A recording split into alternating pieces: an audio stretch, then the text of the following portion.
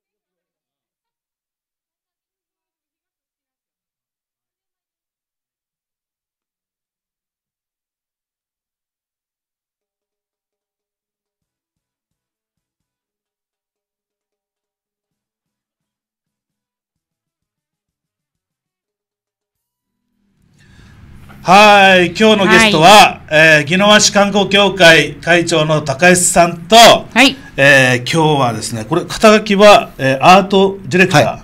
あアートディレそうですねアートディレクターと一応あのアーティストっていう。アーティストの、はい。えー白間秀樹さんにお越しいただきました。よろしくお願いします。よろしくお願いします。えー本当にね、今日オープニングで話したように、はい。今日はあの本当に情報が盛りだくさんなんで、うん。あの必ずですね、えー今日二方さんのあの所属してるところに、あの後でね、アクセスできるようにメモっといてください。メモ帳を準備してください。ね、はいということで、今日よはどっお願いしますからあの案内しましょうか。ねたくさん盛りだくさんあるんだけど、はい えっ、と、あげなさんの生い立ちから。あ、俺の生い立ちか。はいあっていうかね、いや聞きたくないいやいや、そう生い立ちじゃないけど、んその前にあのアクシデントがね、はい昨日台湾から帰ってきたんだけど、はい。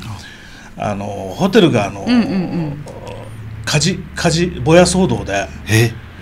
びっくりして、はい。この時のあの状況っていうのが、うん。普通だったらジリリリリっていうあれであ火事だってわかるじゃん。はい。この音もなく。うん。この音もなく、で朝、えー6時前に、うん。で、ワンちゃんワンちゃん、なんちゃまなんちゃまなんちゃまなんちゃまなって言っても、あの、中国語で、すっごい声、大音量で、はい。何事かなと思って、パッて飛び起きて、とりあえず。うん。な、なんて言ってたんですか？いやいや、もう一回もう わかんないわかんない。で、うん。それが、これななんかな、あの、消防訓練か避難訓練か、うんうん。なんかなと思ってで要はおあのお俺以外のね、うんやっぱり中国人とか台湾の人もこうやって、ね、泊まってるからみんなどうするのかなって様子見てたわけ そしたら慌てて着替えて、うんあの荷物持って出る人もいいたりとかして、うんうんうんあとりあえずこれ避難しないといけないのかなと思ってたらこのアナウンスがだんだん息荒くなってきて、てかもうなんか 半泣き別荘みたいな感じで「わしゃわしゃわしゃわしゃわーって言って泣きそうな声で言ってるから今日、力さん壊れてますね。いやものすごいなんか緊迫してるのかなってうんうん。思ってしまうじゃん、はい。もう涙ながらのあの大きな声っていうかさ、あこれ絶対やばいんだ。もう、うん。あの逃げ道がないぐらいかなと思って。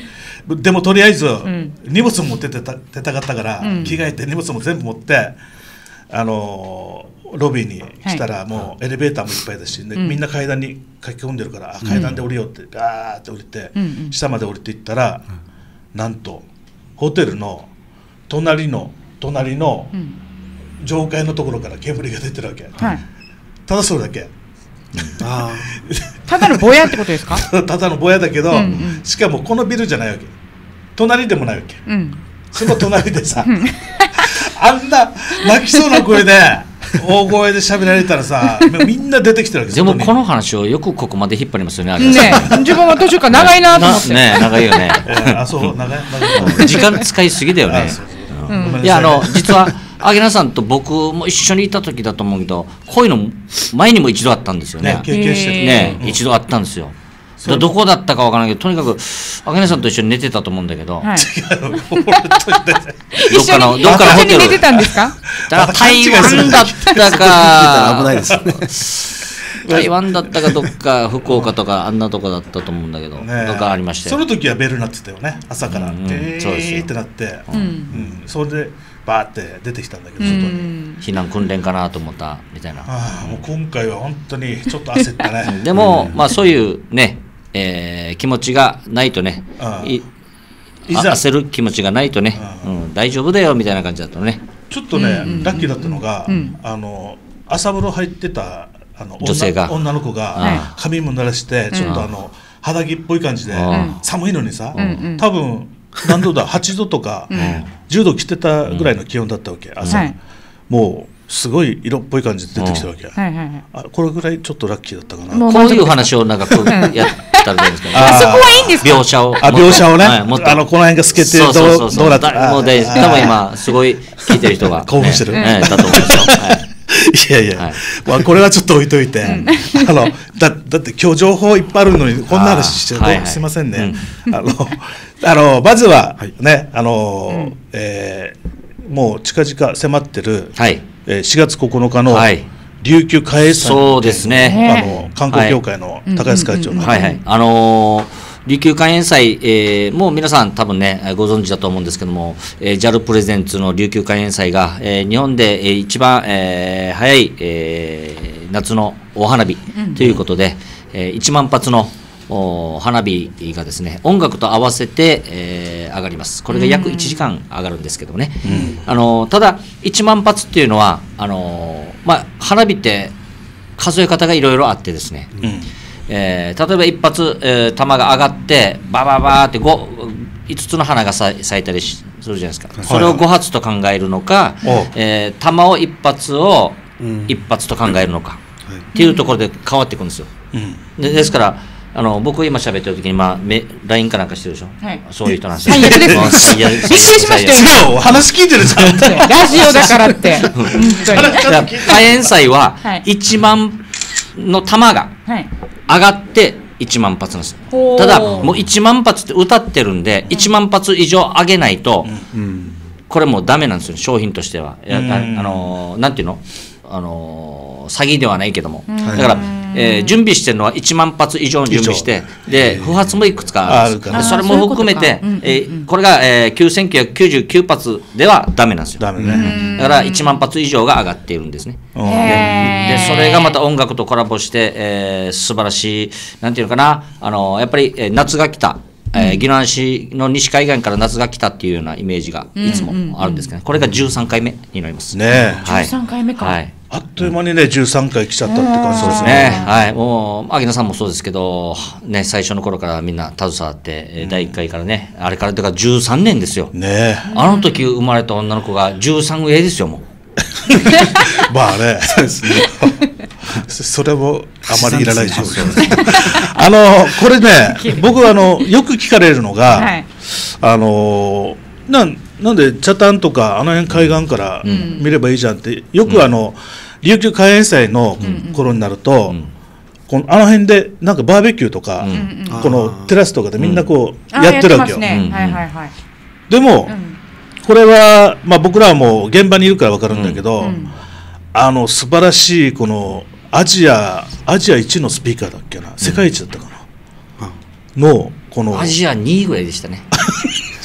一番じゃダメですかはっきりしましたよ、これ。二番じゃダメですかみたいなすごいですよ、あれうん。は。あの、フランスからどっかから運んでくるんですね。あのスピーカーは。はい。ここの日のためにってことですか？だったんですけど、今はずっとあるのかな？へフランーフランスから運んできたらじゃあ世界一じゃないの？アジアじゃなくて。いや、そうとは限らないんじゃないですか？うんこの辺はっきりしましょうよ。まあまあこの辺はちょっとあの グレーグレーにしとってましおいおいね。あのねそういうこの音楽とのうん。コラボがめすごいあのそうですね。うん。やっぱりあれなんですよ。あの今おっしゃるように、んうん。あの光と音ってねあの速度が違うじゃないですか。はい。だから遠くで見る花火ってあーって開いたと思って後からボンって音が聞こえたりするじゃないですか。これは音と光のコラボレーションなんで、はい。やっぱり近くで見てで花火がの爆発音と音楽のこのリズムが本当にタイミングが合ってるんで、そこはやっぱり現場に来て、えー近くで見てほしいし、あの宜野湾市特有のえー、と出島。出島っていうふうにあのくトトロピカルビーチ行った方は分かると思うんですけども、はい。えービーチからこうやってで T 字に出てるんですね。そこを、から上げるんですよ、ですから、えー唯一う陸から一尺玉を上げられるのはここだけなんですね。うん一尺玉以上が上げるのはここだけなんです。あの尺玉大きくなるにつれて、えー距離を取らないと観客はあの万が一のことを考えるんですね。暴発だったり、はいはいえー横に飛んだりしま、しましよん飛んだどうなるかっていうことがあるんで、でそこは、えー出島があるんでそこから上げられるんですよ。うんでもう一つ楽しみ方は、えー出島から上がるんで、出出出島でまた海になってまた浜があってあの間に海があるんですよ。ということは、はい。なぎ状態だと上がった花火が海面にもつるんですよ。おー。2倍楽しみですよ。いいですね。これはすごい。これは本当にだからそそこは、えー来て初めてあー、あのやっぱり、えー開園祭は、えー遠くで見るもんじゃないな。ああ、これやばいですね。うん。いや本当にいいですよ。すごい。はい。その音楽とのね、本当にあれコンピューターでそうですね。ねはい。ちゃんと制御されて、曲に合わせて上がるからもう見事なもんだよね。ああ、いいいいですね。うん。でこれあの会場が15時30分、はい。3時半になって、はい。で開演が、えー7時半じゃないですか、はい。この間って何かあるんですか？あのいろいろイベントをやってるんです、あのその日はすべ、えー、全て多目的広場、えー、であとコンベンションセンター、もうすべて抑えてるんですね、でいろんなイベントをやってます、まだあの僕、詳しい話は聞いてるんですけど、あのえー、ちっちゃなモーターショーみたいなものだったり、えー、いろんなどんな、えーなんかなちっちゃい子が楽しめるようなアトラクションだったり、えー、世代問わずいろんな方が、えー、は早い時間から来て楽しめる、いいですね。はい、明るい時間からねいろんなイベントがあって、うん。はい。で日が沈んだら、はい。い、よいよ本番みそうたいな。なんですよ。い。いですね。はい。はい。ええ。まあ、これ本当にあの、まあ、もちろんね花火だから屋外なんだけど、やっぱりリスクもあるわけよね、うん。去年一昨年だったかな。すごいあね。いや、もっと前です。あの、あれですね。さっき松市長の就任してすぐのでしたよ。あの、大雨でしたっけ？大雨はい。あれはもう大変でしたね。あの、佐喜真市長が、えー最初の冒頭の挨拶で、皆さんすいませんって謝ったんですよ。この雨の中すいませんって謝ったんですね。ええはい。そういうのもありましたよ。まあ、そういうのもあるけど、まあ、えーその中でもね、まあ、思い出に残ったり、あれでも実際打ち上げたんでしょ？はい。あの雨の。えあの雨の中ですはい、か、あの実際、今まで13回やってきて、1回も中止はないんですよ。えあじゃあ雨天結構これも、はい、あのーっていうのは、えーななかなかまあ準備すると、次、じゃあすぐ次あげます、明日あげますみたいな感じはできないんですね。うんうん。でそれと,、えー、と、花火っていうのは、えー雨は危険ではないんですよ。はい。はい。あのー危険なのは、えー風なんですね、はい、ですから10メートル以上の風が吹くと、が継続して吹くとこれは中止になるんですね。はい、中止になったり、まあ、翌日が、えー予定日なん、あのー振り替え日なんでよ翌日投げるということはあるんですけど、雨ではなかなか、えー中止にはなりませんね。はい、ちゃんとねあの消防法で決まってんだよね,、うん決まってますね。12メーター以上だったかな。そうですね。の風。だったらもうあの花火上げちゃいけないっていう。そうですね。風が強あかったらの危ないですもんこれねさっきね会長が言ってたこのパッカーンって割れるじゃん、はい。パッカーンって割れたこのあの厚紙のこのかけらがん。飛んでいっちゃうじゃん、うん。破裂した時に、あの目の前に落ちたことある？ないですよ。あるんだよですか？俺、へ目の前にガーンって落ちて、うん。あれ本当当たったら怪我するね、へえ今、開園祭のコマーシャルしながら危ないよ。ちょっとは何のせいなのかなだから出島だからうん。まだ安心だっていうこと。でもあれだけの迫力あるん。花火だからん。あの真下から見てるようなあのそう。感覚に首痛いですよ、あれ、ずっと1時間、ずっと上、だから、あのー逆にね、寝そべってね、最初から寝そべってやる方が、逆にいいのかなとは思いますけどね。あのねこれ開園祭行き慣れてる人ははいちょっとあの高台の方芝生になっててうん。あそこでねちょっと斜めになってるところにカップルでこう横になって見てるわけよ。うん。なんかねチクチクチクってやりたいぐらい。いやーもう。おいみたいな。やっぱそうやって見てるんですね。分かってるんですね。あの開園祭見てないんですよ、あげなさんは。開園祭を見ながら楽しんでる、ん。楽しんでチクチクしているん。カップルを見て楽しんでる。非常にいやらしいですねこの人は。いやね。まあいろんな楽しみ方があるっていうことでぜひ。あーまあまあそうですね。ぜひね、うん。これあのえっとええー前売り券とか。はい、えっ、とまあ、えーチケットは、えーファミリーマートおでも売ってますし、えーえーまあ、えー私どもの、宜野湾市観光振興協会でも扱っています。で、あのーまあ、えー税込み2700円、大人2700円、おと子供は1300円だっけな、なんですけど、えーまあ、そろそろ危ないかな。そ売り切れる？はい、売り切れ、まあ、売り切れというか、えー取り扱いするところがなくなってくるかもしれないので、なるべく早めに。はいで、え2枚プレゼント。おーおーすごいはい、2枚プレゼント。はい、これじは。ゃああのなんかツイキャスも来てるみたいなんですけど、うんこれはもう、あねま、任せます。あ、小杉さん、いつもね、聞いてくれてる小杉さんあ。ひきさん、ちかちゃん、ゲストの高江さん。はい。なんか入ってますね。白間さんって。あの、あ頑張ってくださいと。あーはいありがとうございます。入ってますね見てますよこのこのチケットはえっ、とメールで応募にしましょうか。ね、えーうん。797アットマークの FM 技能ワンドットコム、えー、797アットマークの FM 技能ワンドットコムで、えーメールで、えー応募いただいて、えー早くも小杉さん、欲しいって入ってますよ。レッツ新国の番組の内の、えーこれなんかキーワードかなんかうん。あのああります？キーキーワードはじゃあえー、ミミちゃん。ミミちゃんん、ミミちゃんはオスだった。あ、これわかるんですか？さすが仲良しですね。ミミちゃんはオスだった。あ後で話すけど。めっちゃ身内ネタじゃないですか、これ。ミミミちゃんはオス。絶対このキーワード入れないじゃああのキーワードはミミちゃんオスだったであの琉球海援祭のチケットあの希望ということで、うん。えーあのお願いします。応募してください。はい。えーこれはいいですね。ペペアでじゃあ1名の方ってことではい。はい。はい。あのすっごい。はい、えープレゼントありがとうございます。うん。はい。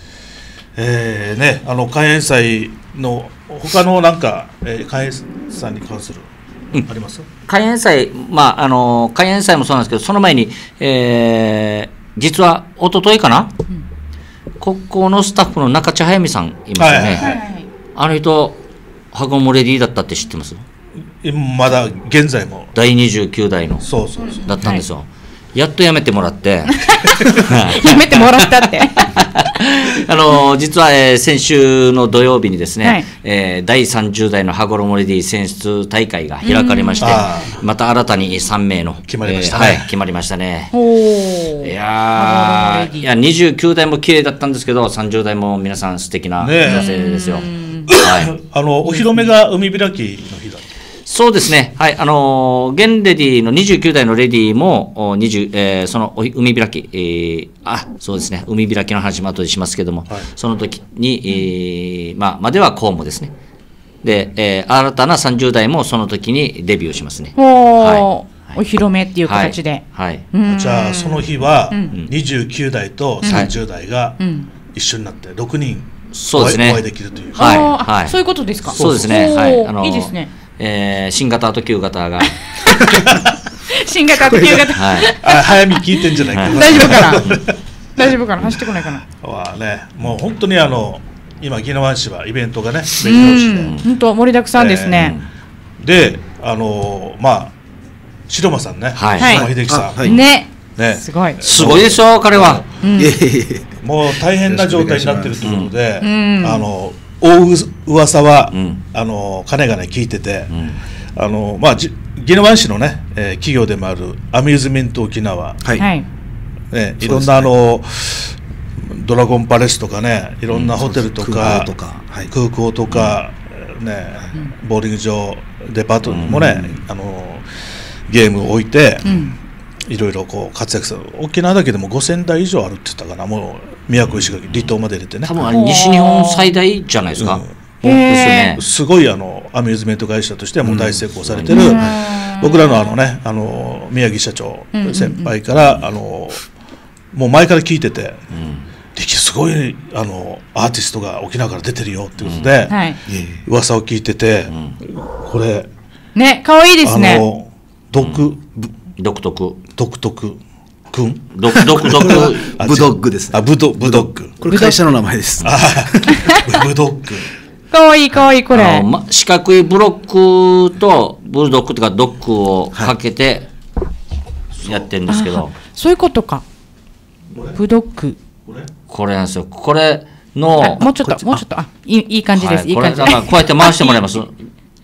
ああ、いいですね。手、手大きいですね。これだけじゃないんですよ。僕が言うのもなんですけど、彼すごいんですね。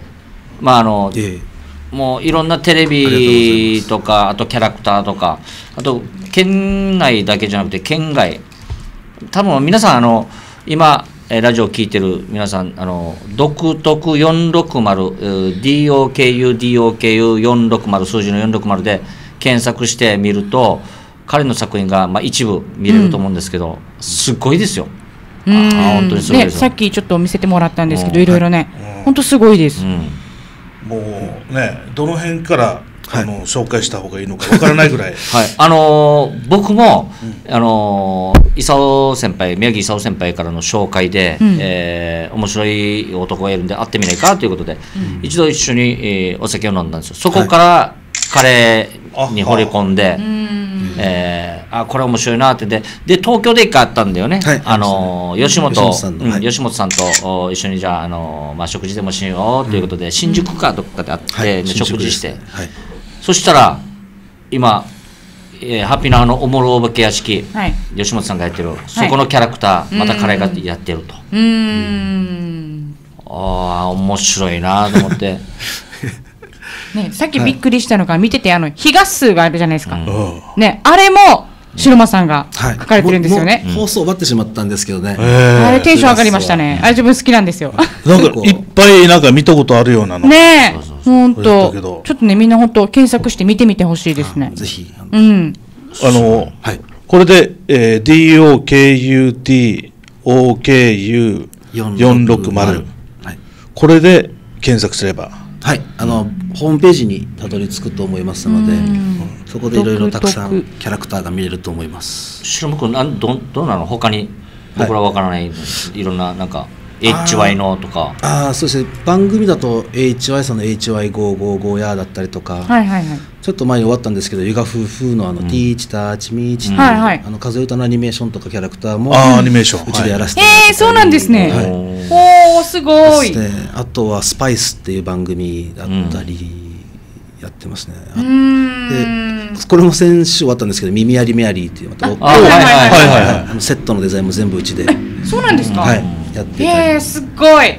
今また新番組の方もあの僕たちがちょっとまた手伝わさせてもらってて、ちょっとやっぱいい人来ちゃいましたね今日ねいやばいですよ。キャラクターに関わるものは全てもうゲームアニメおもちゃ、いろいろやっていて、うん。ちょっと最近変わってるのがあの香港の会社と契約して、ん。あのアベンジャーズっていうアイアンマンとかのおもちゃの原型はうちで作ってます、ほう。おはい、であとスーパーマンとバットマンのも今や最近納品終わって、うんうんうん。もう販売も開始されたんですけど、えー、すごい。それを、はい。あのリアリティにじゃなくて、はい。ちょっとちょっとはいデフォルメされた、あデデフォルメして、はい、デザインをちょちょっとこう三頭身ぐらいになったデザインで、ああはいはいはい、うーん。頭でっかちみたいなね。あそうですそうです、はい。頭がバネで動くおもちゃですね。こうぐるぐらぐらぐら、え。アベンジャーズね。なんか変身の。動物の動物の左右をなんかデフォルメしたらアゲナさんになったみたいな。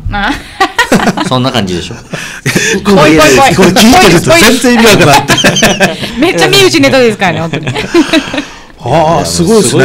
こういうのも見れます？アベンジャーズのあれとか。あはいあのサイトでホームページではい、見れます。そうなんですね見れるんですね、ね、うんうんうんうんうわあのーななぜこのギノアンの FM ギノアンの番組に読んだかっていうと、はいはいはいあのまあ、もちろん、えー宮城勲さんっていう、はい。まあ、共通の、まあ、ギノアン共通のお知り合いっていうのもいるんですけども、はい。えっ、と元部とね富富城だっけ？今富城住んでますで元部が元部長が出身。出身ではい。富城に、今住んででちょうどあのは測るとギノアンが真ん中 それとあとギノアンでよくキャラクターがあるんですけどそのご当地の。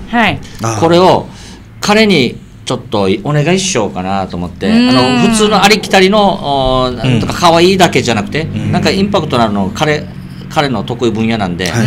そこをお願いしてまずはあのいろいろあるんですよ。あの、実はキャラクターあの着ぐるみなんか管理するのにまあそれにもよるんですけど1000万かかったりとかってしたりする人件費だなんだりとかってかかってるところもある、えーまずは僕らバーチャルから作って、はいそういった、えー平面のところから作っていって、でそこでどんどんどんどん広げていって、うん。えなんか形にできたらなっていうような、えーことでですね、最近だと LINE スタンプとか、あー見てますはい。はいはいあの富城市のあのあごまごちゃんとトミッキーのも出てますし、あと元部長のブトモーっていうキャラクターの LINE スタンプも出てます。ね、面白いですね。それでこう拡散することでまた、うんうんうんあの町の宣伝にもなるうんうので、ん。はい。すごい。有川浩平さんとのコラボも。あ有川さんすごいもう友達で展示会用のアニメーションを作りました。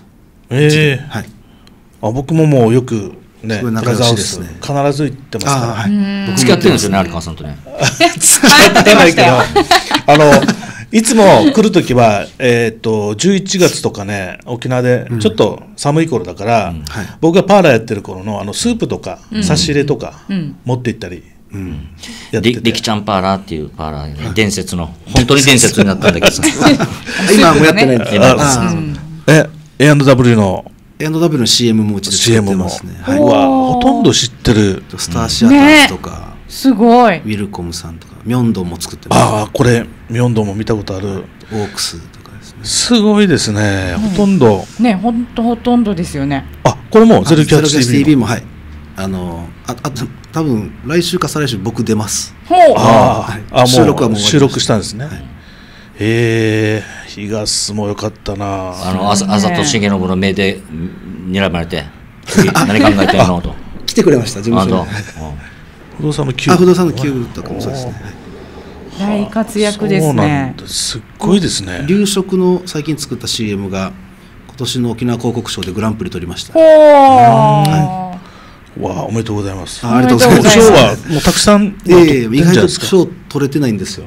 ええこれだけ活躍されてるのに。うキャラんクターだけはたくさんいるんですけど、すっごいな面白いな。ね、なんか見てるだけで楽しいですよね。うん。キャラクタあ俺もコラボしたいな。何何をですか？ー。また。いやいやいやあのあのビジネスいろいろやってるんでこれあのちょっと番組内であれなんでまた 終わって終わった後にまはい。の打ち合わせが、いやいや本当に、はい。すごわーすっごいこれ。本当にあの皆さんあのぜひサイト見ていただいてですね。あのもうほとんどあこれ見たあれ見たみたいな、うんうんうん。本当いっ見た方ぱいあるんで、うん。あ最近あのゲームもリリースしてあのゴリオジャンプっていうんですけどゲーム。もともと僕は東京でずっとあのゲーム会社にいたんですよ。でプレイステーションとか任天堂のゲームのキャラクターを作ってて、で8年間そこで経験積んでそのまま沖縄に帰ってきたんですけどへ今うちのー自社タイトルとしてあのゲームも作ってまして、うんうんうん。はい。ぜひやってみてください。無料なので、いいですね。はい。無料、あ、無料ですか？無料です。ほう、あ、もうもう一度お名前を。ゴリオジャンプって言います。ゴリオジャンプ。無料にすごい食いついたね。あ、じゃあ、や、や、すぐやろうと思って。やってみよう。と思って。ぜひぜひ。いやーすごいねあのねあのい意外とねこの沖縄からこの世界で活躍してる人って、うんうんうん。あの知らない人が多かったり、んあの実はもうすごい人がいたりとかアニメーションとかねあの、うん。なんちゅうの、えーピクサーとかあんなとこで活躍してたりとか、ねディズニーで活躍されてたで実はあの、えー、 Apple Apple Computer Japan のはい。一番最初にうん。日本に上陸した時の、うんえー比嘉比嘉ジョージじゃない。ジェームス比嘉。ジェームス比嘉さんという人。伝説伝説の人らしい、アップルの中では。うん。沖縄の人。沖縄の人でへ今あのカリフォルニアかな。あの辺に住んでらっしゃって。沖縄にはいないんですか、今？沖縄に今いて。うん。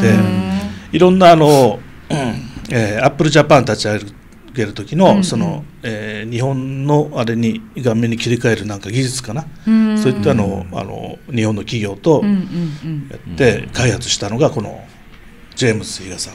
へえ。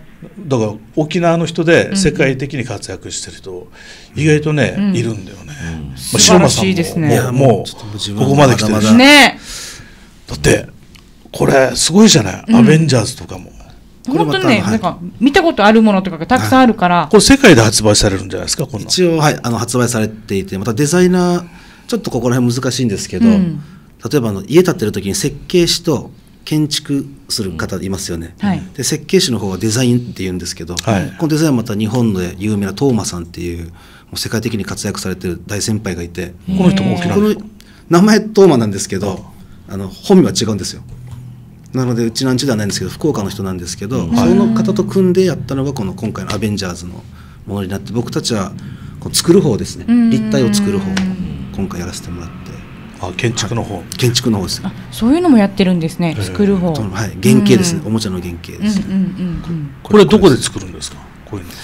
データは沖縄で作って、はい。それを香港の方に納品して、はい。香港で商品化ですね、へあえ。香港で作ってるんですはい、か、だから販売元は香港です、あ、そうなんだ。香港のホットトイズっていうおもちゃメーカーですねへえ今ね本当にいろんな製造業があちこちに移ってて、うん。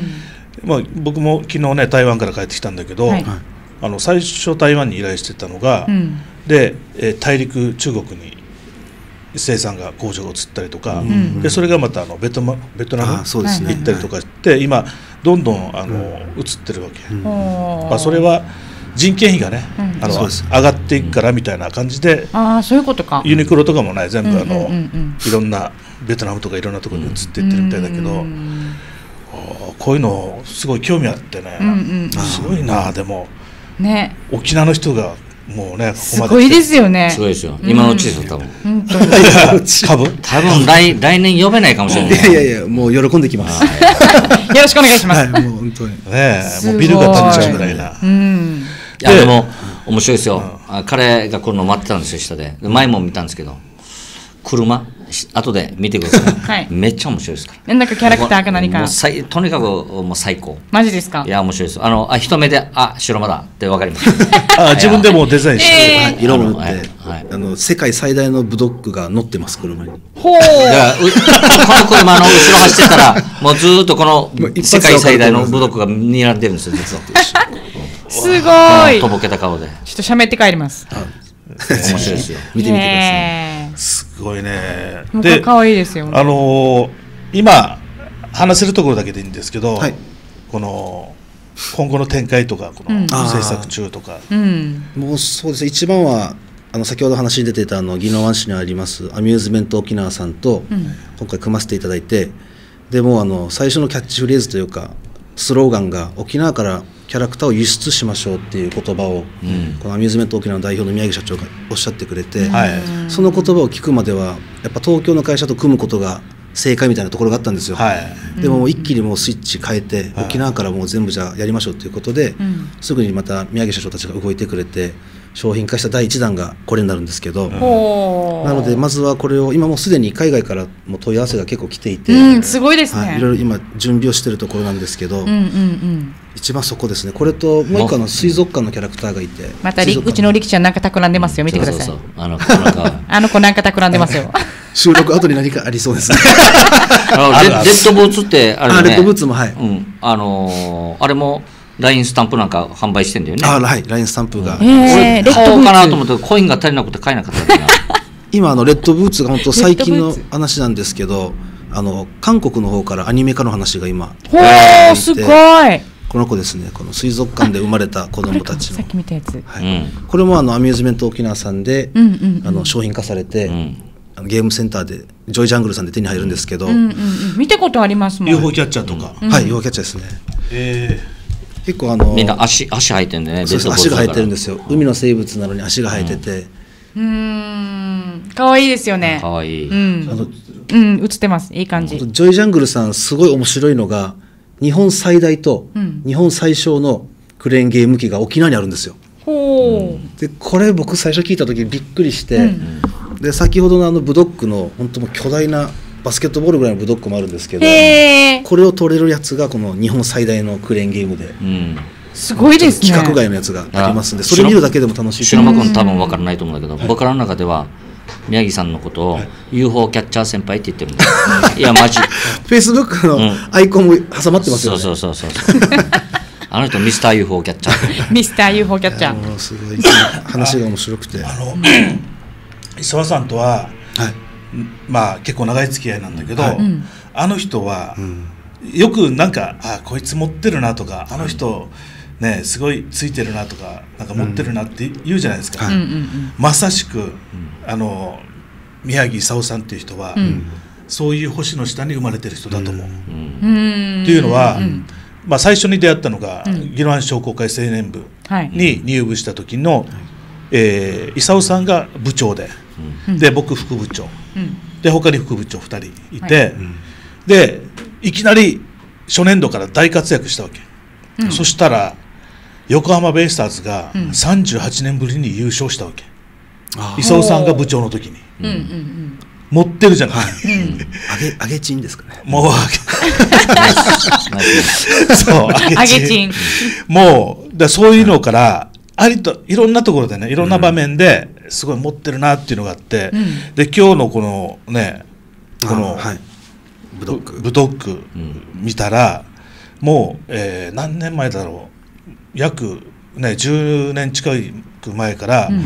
オリジナルの自分たちであの最初はあの仕入れてた。わけ、はいはい。うんうん。中国からとか、うん。UFO キャッチャーのこのぬいぐるみとかね仕入れてたんだけど、自分たちで作ろうやって感じのうん。動きを、あの何年か前から始めてて、でどんどんどんどん作るたんびに完成度とか、もう最初ね失敗とかいろんなのあるじゃないですか、ああいったのも一つ二つこう乗り越えてきて、クリアしてきて、ん。で今完成度が高くなった時期に、うん。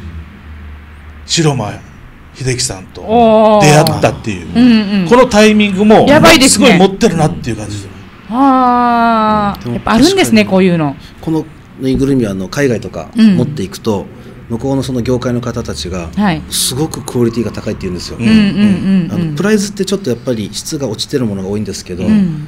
このものにかこれに関してはもうプライズに見えないってみんな言ってて、うん。うんでそこら辺もあのアミューズメント沖縄のこのスタッフの皆さんも含めてすごいこだわりを持って作ってくれているので、うん。ぼ僕もで安心して、まあ、あの任せれると言いますか、キャラクターを。うん。何度も失敗したりとか、こうん。の多分工場も生産工場も変えてきてると思うんだよね、うんうんで今いい状態になった時に出会ってるっていうこのタイミングがうんうね、ん。やばいですちょっと鳥ね肌もんっていうかさ、うんうんうんすごいですよね、あのサクセスストーリーがね。そう。最初あの、きゅあのーオンオンボロのハイエース中古買ってそれからスタートしてね。そうなんですか。そうそうそうそう。そう。そうちょっと伊沢さんの話語りにこれからちょっと飲み行きましょうか、伊沢さんの話ってもうすごいです。あと2時間かかりますよ。23時間ね話かかるから。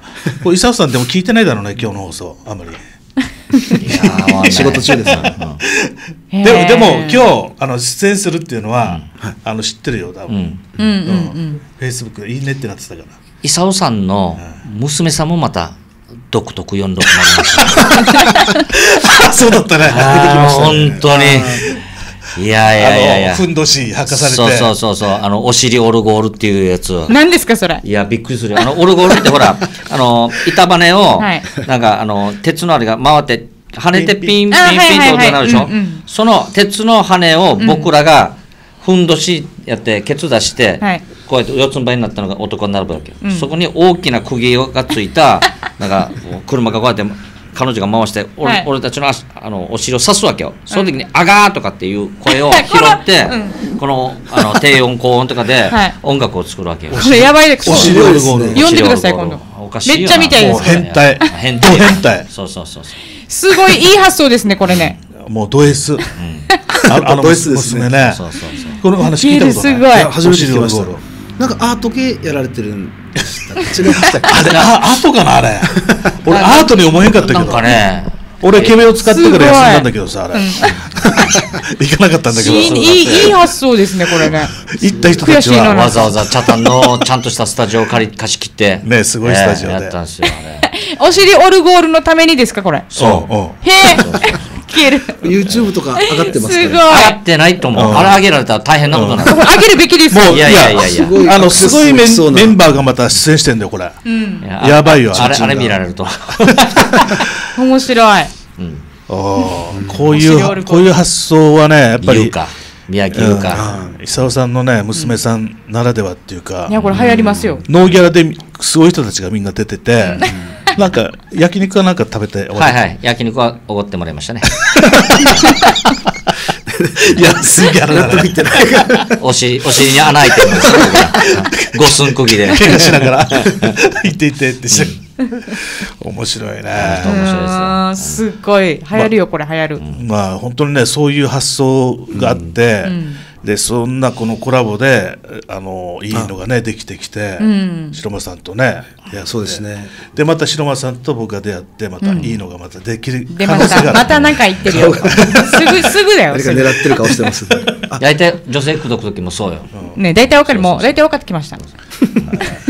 なんかまた白間さんから。はい。これあのプレゼントします。おおなのでぜひあのまいいですね。いいなこれ非売品だからね。ねこれ販売はしてないんですよ販売してないのねではい。俺これこれ取るためにいくら使ったかわかんない。ね皆さん販売してないみたいなんではい。これ。ね UFO キャッチャーでだけなんですよね。ツイキャス来てる、うわ小勢さんからうん。さっきのあのあれですねお尻オルゴール。あウケ るーって入ってます。これはねぜひ本当はね YouTube でね。ねやるべきですよ。出せたら、ていうか今度呼んでくださいそれ。とめっちゃ見たい。ここの画像はあの娘さんいやえだー、消去しました僕が。あそう。出回らないように。